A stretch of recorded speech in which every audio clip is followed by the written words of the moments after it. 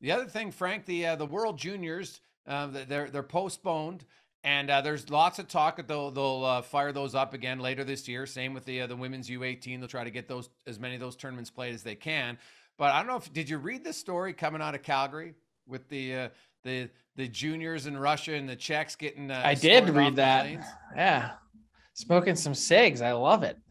What what are they? Ali Afridi lighting up between periods? Like what? Like Marilyn what year is this?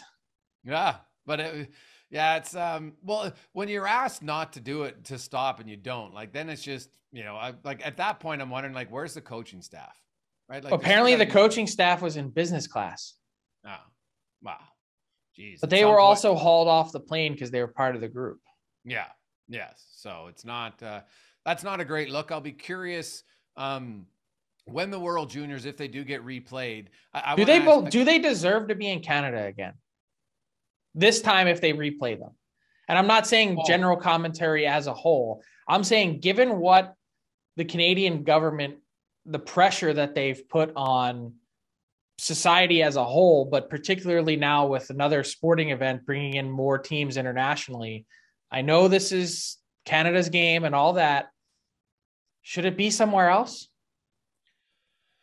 It might be right. I, I think it'll probably de- depend on. They want to keep in mind, Frank. You talked earlier about it's a business, right? Um, this this one wasn't shut down for health and safety. Let's make that. This was shut down because of business. Main like that was just as much of a reason. You would have had to cancel more games for sure because more guys would have got it. That was obvious. It was starting to spread. The, you know, there's no question about that. They but it was health and safety that was directed by the government because the stipulation that was in place from the government was once someone tests positive that the whole team needs to be shut down. That wasn't an IIHF rule. That was coming directly from the government that they had well, to negotiate. Well, are we sure? Because when the Oilers have a positive test, the whole team. That's that's that's different. That's not that wasn't the stipulation with these teams coming in internationally. Oh, okay. Well, um, to me, that's part of it. Sure. So the games would have had to be shut down, but make no mistake, the, the lack of fans, the lack of no food and beverage in the building, I, I believe played just as big of a role. Right. They because, But if it really was about business, you had already had the expense to bring everyone here. Yeah, but you, but then you but you're not recuperating and the expense to put on the games. Well, right. but either way, it was sunk cost. You, were pot committed at that point. See, I, I don't buy for one second that the reason that these games were canceled is that it's for business. They would have, I think, they would have preferred to just motor on through and get it over with and get it get a champion awarded, gold medals distributed, and they couldn't do it. They knew that there was an integrity of the game issue. Yes. How do we determine the quarterfinal standings? Who plays in the quarterfinals? Which teams need to be which teams need to be essentially ejected from the tournament because of health and safety protocols?